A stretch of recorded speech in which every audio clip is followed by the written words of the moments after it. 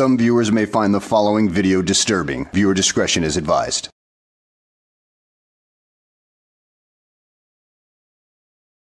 Well, hello and welcome back to the channel, everybody.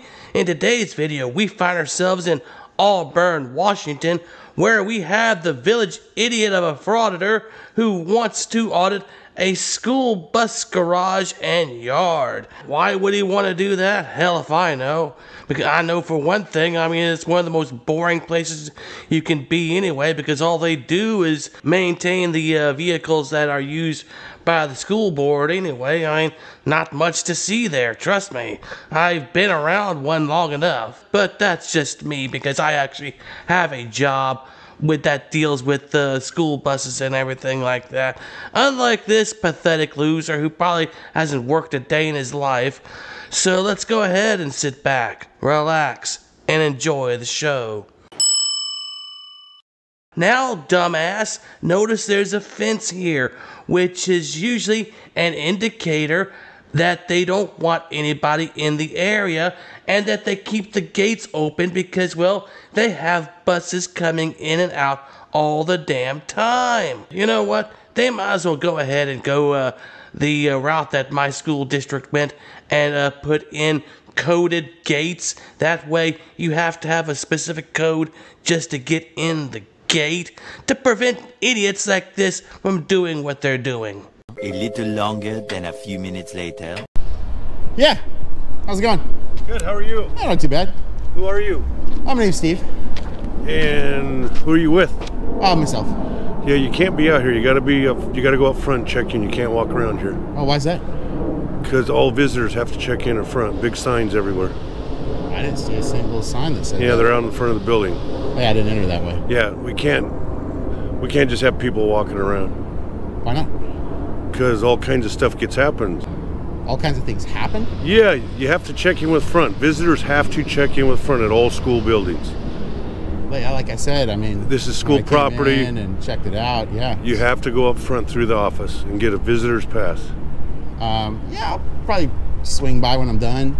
Having worked at a school for a few years now, I can tell you one thing that, well, you definitely need to go to the front office and uh, make sure that you get that visitor's pass because if you don't, they will escort you out of the area and, and sometimes in handcuffs. So you might want to be careful, you dumbass frauditor, if you don't want that happening to you and especially around a bus garage like that because well you're dealing with machines right there that can hurt you if you're not careful with them and uh, well what about uh, the security of those buses out there because you never know what ill intentions some idiot like you may have i mean we don't know what your intentions are if you just walk right on there No, you, you have to go now. You have to check in. You can't be on school district property without a pass. Can't be on can't be on school property without a pass. Correct. We have to know who you are. Why is that? Children's safety involved. Oh, are there children involved? Uh, yeah, people come in with buses all the time with kids on board. Yep.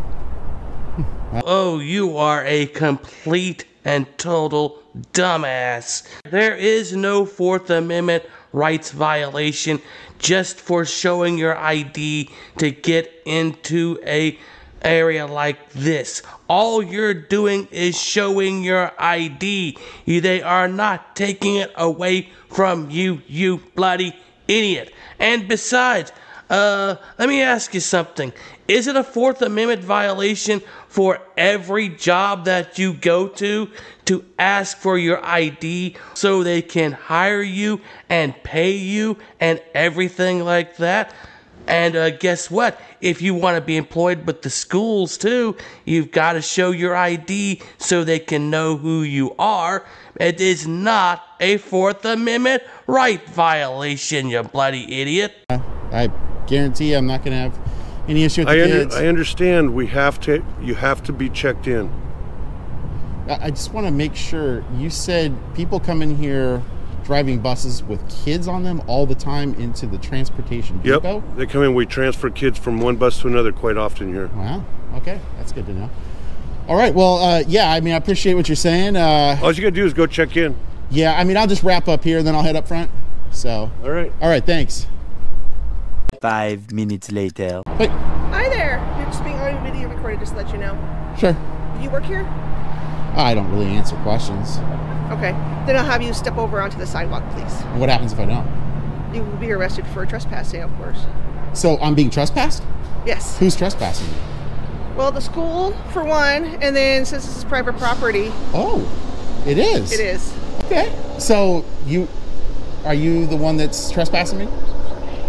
No. Who's tresp? I'm I'm confused, officer. I work for the school district okay. along, uh, so I'm giving you the word. So you're trespassing me. Yes. Okay. Well, let's walk, and then I need to get that 115 form. What's 115? Uh, if you look in uh, Title 9A, Section 52 or Chapter 52, the trespass statute, Oh, yeah. Okay, then give me all your information. uh, actually doesn't require information. Okay. So I have you on camera. I have your photo. Okay. All right. If you come back, you'll be arrested. Okay. I do need the, the Section 115 form, the declaration form under penalty of perjury. I appreciate the fact that you provided citation for uh, what you were talking about, but what is not appreciated is that you lied about what is actually on there.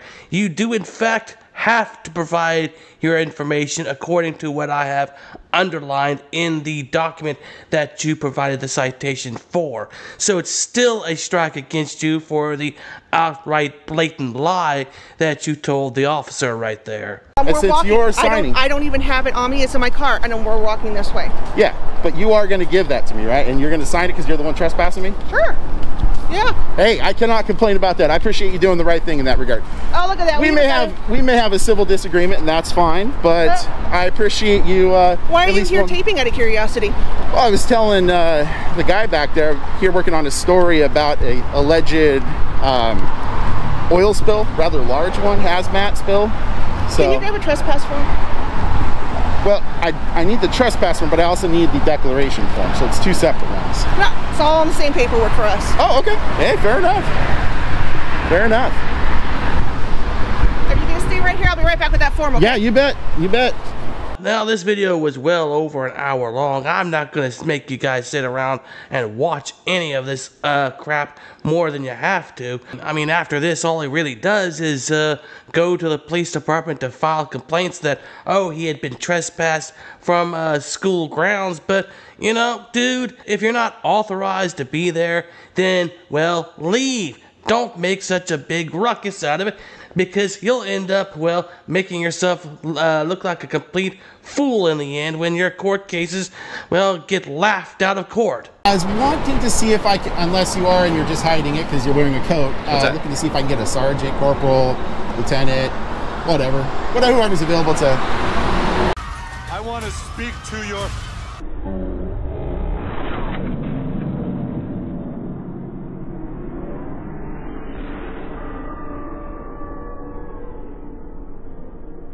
Manager, whatever.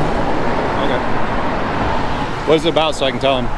Uh, well, while I appreciate there's a misunderstanding on that officer's part over there, I'm actually wanting to square it away before it escalates into something that it shouldn't. Yeah, I mean that in a civil sense, not a. Okay. What's the what's the misunderstanding, I guess? Uh, well, a this this is definitely not private property in any way. School district property. Yeah, it's not private property though. It's school district property and It's there's public stuff, property. There's school district stuff and it's posted that you cannot enter there without checking at the main office. There, Yes. not here. If you go down along the line, there's I, you know I, I observed because I try to make sure I'm on the right side of everything here. Okay. There's no no unauthorized personnel signs, no no trespassing signs, no anything like that. Now obviously there's vehicle directional signs, you know, like hey, this is exit only or buses only down there, that kind of stuff. It's funny that you should mention private property signs because from where you're standing, you cannot see them from here. But if you look down this way and just walk a little further beyond the bus garage building right there, you can see what appears to be a uh, private property sign right there. I mean, it's blurry in the uh, Google Maps image, but uh, it certainly looks like the type that would definitely be seen uh, in other locations, dude. So you might want to do a little bit of fact checking and uh, walk a little bit further down the road uh, just to be sure about that, you freaking dumbass. But when you're contacted by the staff here and they say you have to leave and you refuse, that's when the, st- the problem starts.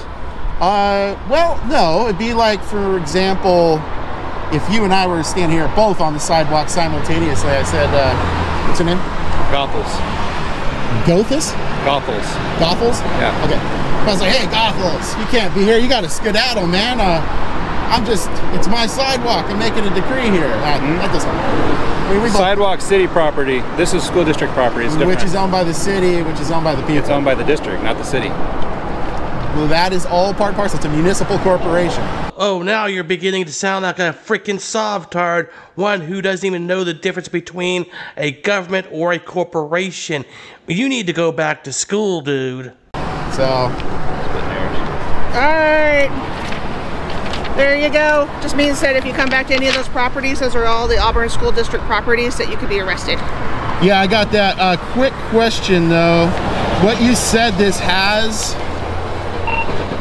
does not have it. So, I, I'm just politely asking for the additional form. Oh, poor baby. Yeah. You- the- the That's other that's going to be it. So you're going to refuse to sign the perjury statement? No. I, I signed that. This isn't under penalty of perjury. There's in, in 9852 section 115, section 80 as you know is the is the actual trespass section where it delineates between mm-hmm. outer property and inner property. When you go down a few more sections to section 115, there's actually a form there that the legislature mandated that anybody, whether it's you or, which is why honestly, what I'm asking you is actually to help you. If you get the guy in there to sign that, it actually takes the liability away from the police department and you personally. I, I'm not going to get into hairs. You're not allowed to be on this property. Okay, well, I still Okay? need a corporal, sergeant, whoever. All right, you're more than welcome to call them down. So you're I requested one. you request one? Why do it got to be like that, officer? I mean, I'm just asking for a corporal or sergeant. Aren't you guys? one for you. Aren't you guys public? Yeah, but he's he's being actually reasonable and appropriate. You're being inappropriate. I, and I'm not. you're I'm sorry. you're actually being very unreasonable, and very inappropriate. And you're just being a gibbering idiot who can't understand any trespassing laws or anything like that. So, yeah, might as well just go ahead and cut it off right here because, well, he just jabbers on about nothing for the next few minutes and, uh, well, still trespassed at the end of the day. Do yourself a favor, dude, and go get yourself a job and an education or something like that because this fraudulent gig, well, it's gonna lead you down the wrong path and, uh, well, you know how that goes. But hell, my advice to you would be ignored. So at any rate, guys, I hope you enjoyed the video. Thanks for watching, and I will see you on the next one.